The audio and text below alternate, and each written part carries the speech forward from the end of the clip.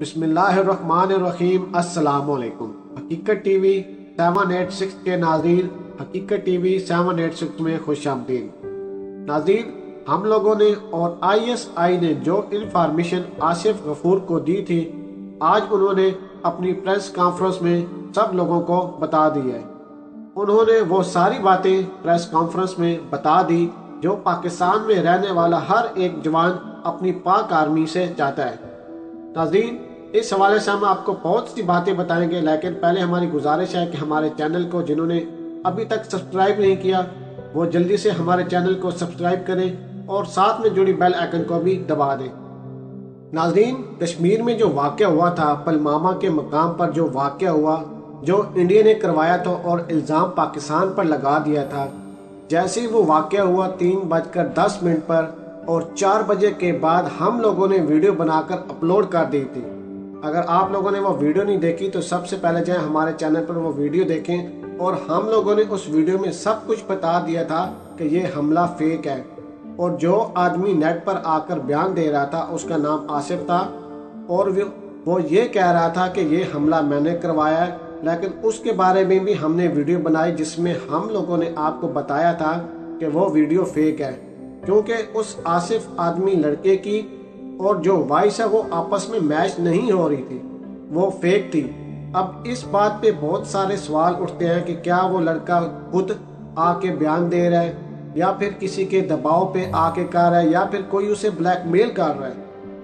وہ آدمی کون ہے، کہاں سے آیا ہے، ابھی اسی بات کی اتنی انفارمیشن نہیں معلوم، لیکن آنے والے دنوں میں ہم اس بات سے بھی پردہ اٹھا دیں گے۔ اس آدمی کے پاس جو ویپن تھی، وہ کہاں سے آئی؟ ہم نے وہ بھی آپ کو بتایا تھا۔ اس آدمی کا حلیہ کیسا ہے؟ وہ ویپن کہاں پہ استعمال ہوتی ہیں؟ وہ ساری باتیں ہم آپ لوگ، آپ لوگوں کو اس ویڈیو میں بتا دی تھی۔ اور آج وہی ساری باتیں آصف غفور نے اپنی پریس کانفرنس میں وہ ساری باتیں ان لوگوں کے ساتھ شیئر کی ہیں۔ دیکھیں، ہمارا مقصد یہی ہوتا ہے کہ ہم پاکستانی عوام کے ساتھ ساتھ اپنے آرمی کو بھی سچ بیان کر سکیں۔ ہمارا کام ہوتا ہے لوگوں کے سامنے سچائی بیان کرنا، سچ رکھنا، فیصلہ ہمیشہ سے آپ لوگوں نے کرنا ہوتا ہے اور ہماری آرمی نے کرنا ہوتا ہے۔ ہمارا کام یہی ہوتا ہے کہ آپ لوگوں کو سیدھا رستہ دکھانا۔ چلنا ہمیشہ آپ لوگوں نے اپنی مرضی سے ہوتا ہے۔ اور آج آصف غفور نے پریس کانفرنس میں وہ ساری باتیں کی جو ہم لوگوں نے ویڈیو میں بیان کی تھی۔ یہ بات کہنے کا مطلب یہ ہے کہ آصف غفور کے ساتھ ساتھ بہت سے ایسی میڈیا چینل والے بھی ہیں جو ہماری ویڈیو دیکھتے ہیں۔ پلماما کے کیس کے بعد جو آدمی نیٹ پہ آ کے بیان دیتا ہے کہ میں نے یہ حملہ کیا اس میں میں ملوث ہوں، اس کے پاس جو بندوق تھی دو بندوقیں تھیں اور ان کا نام ایم سکسٹین تھا۔ اور وہ بندوقیں امریکہ میں استعمال کی جاتی ہیں اور وہ بندوقیں آج کل کے دور میں استعمال نہیں کی جاتی۔ وہ انیس سو باٹھ سے لے کر انیس سو پچاسی کے درمیان وہ بندوقیں ایجاد کی گئی تھی اور ان بندوقوں کا استعمال زیادہ تر ہندوستان میں اور افغانستان میں کیا جاتا ہے۔ پاکستان میں وہ الاؤڈ ہی نہیں ہے۔ پاکستان میں وہ بندوق چلانا بند ہو گئی ہے سرکار نے وہ بندوقیں چلانا پر پابندی لگا دی ہے۔ ابھی اس بات پر دو طرح کے سوال اٹھتے ہیں۔ ایک یہ کہ یا پھر ہندوستان خود اس کام میں ملوث ہے یا پھر افغانستان۔ کیونکہ افغانستان میں دہشت گردی ہوتی ہے اور وہی لوگ زیادہ تر دہشت گردی میں ملوث ہوتے ہیں۔ اب ناظرین، آپ لوگوں نے ہمیں بتانا ہے کہ اس کام کے پیچھے کون ہو سکتا ہے۔ ہمارے آصف غفور نے آج پریس کانفرنس کرتی ہے وہ ساری باتیں بتائیں جن کو ہم نے بیان کیا تھا، جن کے بارے میں ہر پاکستان، ہر افغانستان کہہ رہا ہے کہ وہ واقعہ جھوٹ ہے۔ وہ آدمی جو بیان دے رہا ہے، وہ فیک ہے۔ وہ ویڈیو ہی فیک ہے۔ کیونکہ وائس علیحدہ ہے، اس آدمی کی آواز علیحدہ ہے، جو کہ آج ہمارے آرمی کے آصف غفور نے اپنی پریس کانفرنس کرتے ہوئے سب کچھ بیان کر دیا ہے۔ لیکن کچھ ماہرین کا کہنا ہے کہ وہ جو بندوقیں تھی اس آدمی بلال کے پاس، وہ امریکہ کے جوانوں کی تھی کیونکہ جب امریکہ اور افغانستان کی جنگ ہوئی تھی، اسامہ بن لادم کے کیس پر جب امریکہ نے ہندوستان میں حملہ کیا تھا تو جب افغانستان نے ان کا رپلائی کیا، ان کے امریکہ کے جوانوں کو شہید کیا، تو ان کی جو گن تھی نا، وہ افغانستان میں آ گئی۔ اور پھر وہاں سے وہ گن کشمیر میں آ گئی یا پھر ہندوستان میں آ گئی ابھی واقع ہو رہا ہے کشمیر میں پلماما کے مقام پر۔ وہاں پہ کون کر سکتا ہے؟ یا پھر کشمیری کر سکتے ہیں، یا پھر انڈیا خود کر سکتی ہے۔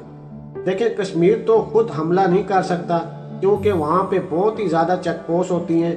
جو کہ انڈیا نے خود ہی لگائی ہوتی ہیں تو پھر آپ لوگ خود بتائیں کہ ساڑھے تین سو کلو سے زیادہ کا بارود ایک گاڑی تین سے چار چیک پوسٹیں یا آٹھ سے دس چیک پوسٹیں کراس کر کے کیسے آ سکتی ہے اور انڈین کی آرمی کے گاڑی کے ساتھ کیسے ٹکرا سکتی ہے؟ یہ ایک ایسا سوال ہے جس کا جواب ابھی تک نہیں مل رہا۔ ناظرین دیکھیں ہمارے لحاظ سے تو یہی لگتا ہے کہ اس کے پیچھے انڈیا ہی ہے۔ کیونکہ دیکھیں نا، اس میں انڈیا کا کیسا فائدہ ہو سکتا ہے؟ وہ ایسے کہ صرف اور صرف اس حملے کے پیچھے ایک ہی انسان کو فائدہ ہو سکتا ہے، اور وہ ہے مودی۔ کیونکہ الیکشن قریب ہے۔ ہم نے اس بارے میں بھی ویڈیو بنائی ہے۔ اگر آپ لوگوں نے وہ ویڈیو نہیں دیکھی، تو سب سے پہلے جا کے وہ ویڈیو دیکھیں۔ اور آپ لوگوں کو اندازہ ہو کہ یہ مودی ایسا کیوں کر سکتا ہے، صرف اور صرف اپنی سیٹ بچانے کے لیے۔ ملک میں ایک دو دھماکے کرا دے گا، تھوڑی سی دہشت گردی کروا دے گا، جس سے سارے لوگوں کا، سارے ممالک کا دھیان اس طرف ہو جائے گا۔ اور جب الیکشن قریب آئیں گے، اور وہ پھر سے اسی طریقے سے الیکشن جیت جائے گا۔ یہ مودی کا آج کا نہیں، اس سے پہلے کا بھی یہی ڈرامہ ہے۔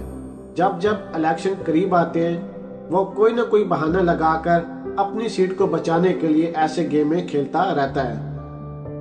لیکن آج کی پریس کانفرنس کے بعد ہمیں نہیں لگتا کہ مودی کے علاوہ کوئی بھی آدمی پاکستان کے خلاف کبھی بھی دہشت گردی کا الزام لگائے گا یا پھر پاکستان کو نقصان پہنچانے کے بارے میں سوچے گا بھی صحیح۔ کیونکہ آصف غفور نے اپنی پریس کانفرنس میں ایسی ایسی باتیں بولی ہیں جو کہ سن کر مودی کیا مودی کا باپ بھی پاکستان کے ساتھ کبھی بھی کسی بھی قسم کی کوئی بھی حرکت نہیں کرے گا۔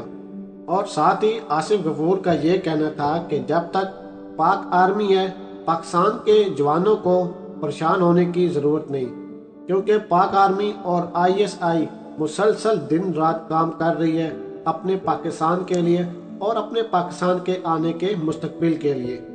اور آصف غفور نے ایک وہ بہت ہی زبردست بات بولی ہے، وہ یہ کہ انڈیا جو بار بار جنگ کی دھمکی دیتا ہے، ان میں جنگ کرنے کی ہمت نہیں۔ کیونکہ جنہوں نے جنگ کرنی ہوتی ہے، وہ بتا کے نہیں آتے۔ اگر اتنا ہی ان کو جنگ کرنے کا شوق ہے، تو آمنے سامنے آ کر مقابلہ کر لیں۔ یہ بیان سننے کے بعد انڈین کے مودی کے ساتھ ساتھ انڈین کی آرمی کی بھی ہوا نکل گئی۔ کیونکہ اس زبردست پریس کانفرنس کے ہو جانے کے بعد انڈین کی آرمی اور مودی کی طرف سے ابھی تک کسی بھی قسم کا کوئی بھی ریپلائی نہیں آیا ہے۔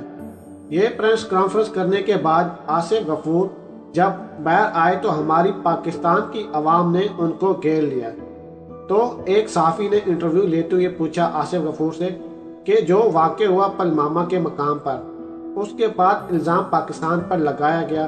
اور جو آدمی میڈیا پر آ کر کہتا ہے کہ یہ سب کچھ میں نے کیا تو آپ لوگوں کو کیسے پتا چلا کہ وہ آدمی فیک تھا، وہ ویڈیو فیک تھی اور اس کے پیچھے جو ریکارڈنگ چل رہی تھی وہ بھی فیک تھی؟ تو آصف غفور نے جواب دیتے ہوئے کہا کہ یہ سب کچھ ہمارے گمنام ہیروز اور ہماری پاکستان کی عوام کا ہی بتایا ہوا ہے۔ کیونکہ جب تک آئی ایس آئی گمنام ہیروز اور پاکستان کی عوام اپنی پاک آرمی کو سپورٹ کرتی رہے گی۔ ہم ہر وقت پاکستان کی دفاع کرنے کے لیے تیار رہیں گے۔ ناظرین، آصف غفور کے یہ بیان کے بعد اور ہمارے پرائم منسٹر عمران خان کے بیان کے بعد، ہمیں نہیں لگتا کہ آنے والے دنوں میں کبھی بھی انڈیا اب پاکستان کے ساتھ جنگ کرنے کا بھی سوچے گا۔ کیونکہ اگر اب انہوں نے پاکستان پر کسی بھی قسم کا الزام لگایا یا پاکستان کو دہشت گرد ملک بنانے کی کوشش کی تو اب جنگ پاکستان کی طرف سے ہوگی، انڈیا کی طرف سے نہیں۔ انڈیا تو پاکستان کو صرف دھمکی دیتا ہے، لیکن پاکستان ان کو جنگ کر کے دکھائے گا۔ ہم لوگوں کو خوشی ہے کہ ہمارے ملک کی آرمی، آئی ایس آئی اور ہمارے پرائم منسٹر عمران خان صاحب ملک کے لیے بہترین کام کر رہے ہیں۔ آنے والے دنوں میں آپ دیکھیں گے ناظرین کہ پاکستان دنیا کا وہ واحد ممالک ہوگا۔ جس میں دنیا کی ہر قسم کی چیز موجود ہوگی اور دہشت گردی کا نام بھی نہیں ہوگا۔ ناظرین، اگر آپ کو ہماری ویڈیو پسند آئی ہو، تو ویڈیو کو لائک کر دیں، شیئر کر دیں اور اپنی قیمتی رائے سے ہمیں ضرور آگاہ کیجیے گا۔